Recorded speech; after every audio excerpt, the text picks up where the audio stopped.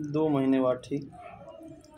आज अपने घर पे ही अपने हाथों द्वारा बनाया हमने चिकन आप देख सकते हैं।